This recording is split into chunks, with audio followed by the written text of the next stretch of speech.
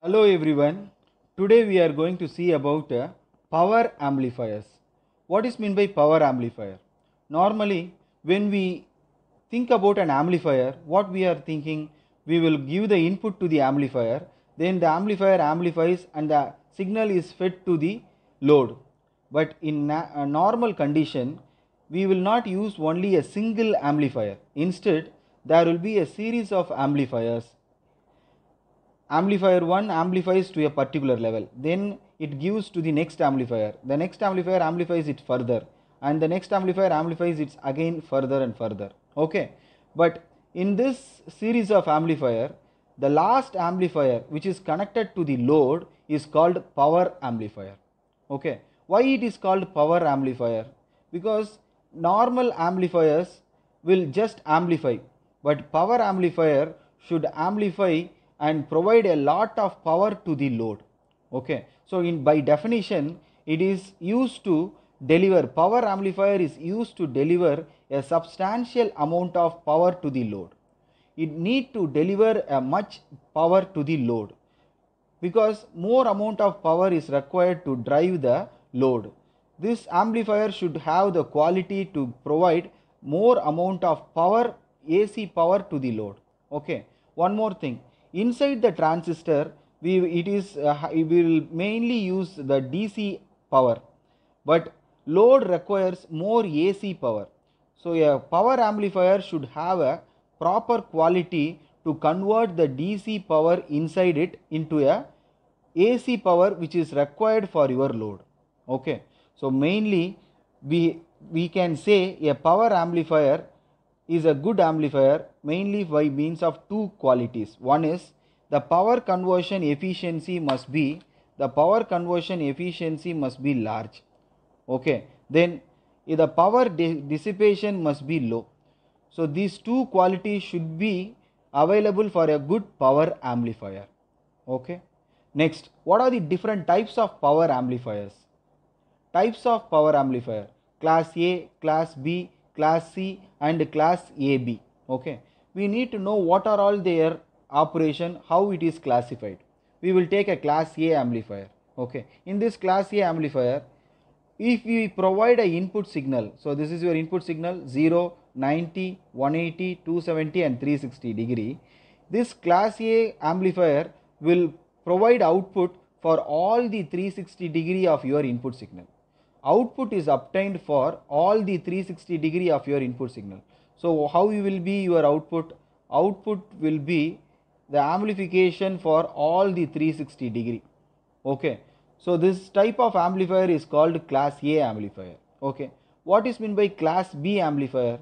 You are providing the same input all 360 degree but your output will be obtained only for 180 degree of your input signal. So it will we will get 180 degree of your output from the input. Okay next for what is a class c amplifier output is obtained less than 180 degree of your input signal. So your output will be obtained only less than 180 degree. Okay. Okay. What about the next one? Class ab amplifier. In this output will be more than 180 degree but less than 360 degree. So that what your output will be? So your output will be looking in this fashion. It will be more than 180 degree but less than 360 degree. So these are all the different types of power amplifiers. Class a class b class c and class ab okay. So we need to know how these amplifiers are operating in this condition. What is the concept behind the operation? Okay. So mainly when we think about a transistor we will know about its dc characteristics. Dc characteristics and uh, output characteristics we know. That is the the output that is the output characteristic means it is the graph between output current and output voltage. Okay? In that we have also known about the load line in your dc analysis. Okay? In this what we have learnt because in this we have learnt about the active region. So these are all your active region. Below this it is called cutoff region. What is my active region? What is my cutoff region?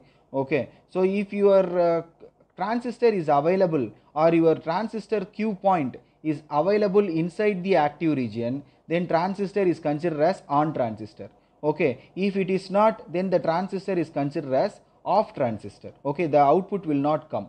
Okay For- this is one concept you should know. Okay next one. We have to fix the transistor's q point. How we will fix the transistor's q point? Normally you know vceq and icq we are providing a battery to the transistor biasing to the transistor according to the battery's voltage and current you can fix the transistor at any point in this load line. Okay. So by means of vceq and icq by means of the battery voltage and current you can fix the transistor at anywhere in this uh, uh, load line. Okay.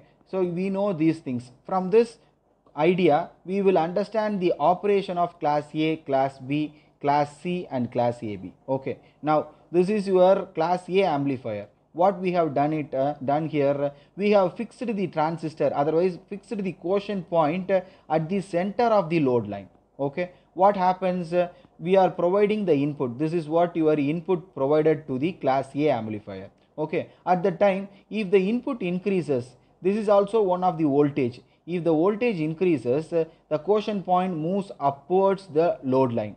If the voltage input decreases then the quotient point moves below the load line okay? But what you have to see in this uh, if we if the quotient point increases above or below we have to think about whether the transistor is in the on condition or in the off condition. Otherwise quotient point available in which area? Whether it is available in the active region or it goes inside the cutoff region. If it is in the active region your output you will get.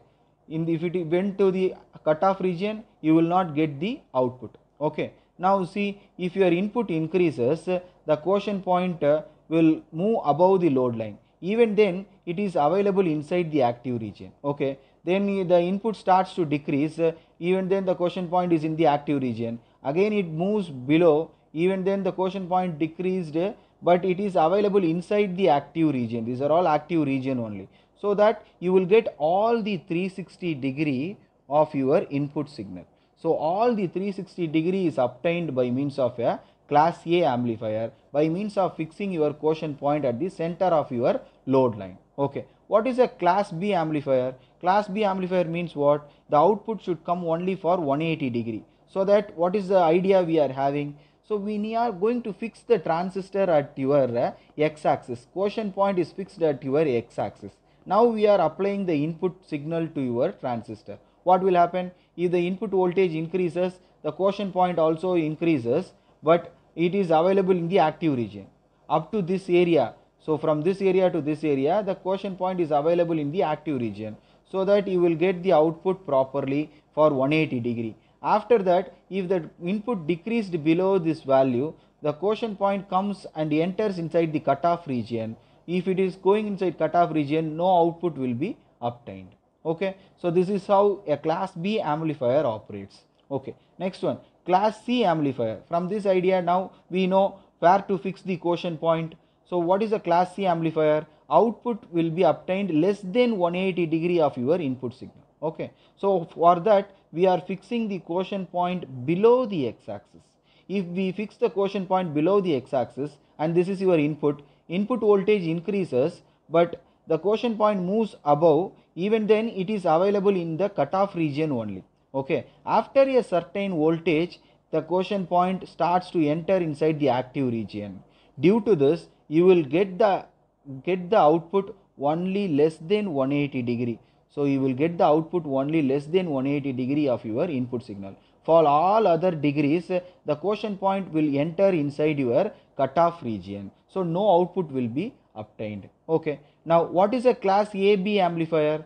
Class AB amplifier means it will be more than 180 degree but less than 360 degree. So automatically now think about where we can fix the quotient point. So we need to fix the quotient point above the x-axis but below your center of the active region.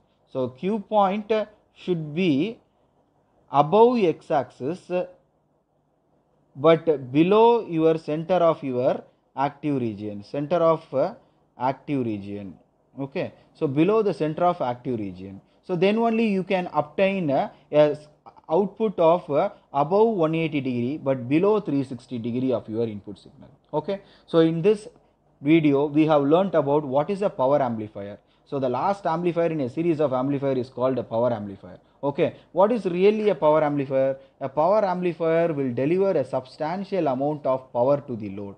Main uh, the definition is what this. Okay, then next thing is what is a good power amplifier? It should have a high power conversion efficiency and less power dissipation. Okay, there are four types of power amplifiers: class A, class B, class C, and class AB.